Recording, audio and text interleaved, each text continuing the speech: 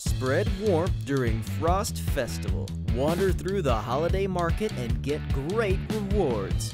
From December 18th through December 31st, the stalls in the market will continuously shell out winter coins. Winter coins can be used to redeem great rewards in the store.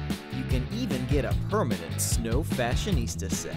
Complete missions to get crafting materials, which can be used to upgrade the stalls. The stall's winter coin generation speed increases with their level. If you're lucky, you'll encounter Mr. Snowman, who may give you some special rewards. Collect winter coins and claim the Snow Fashionista set and more.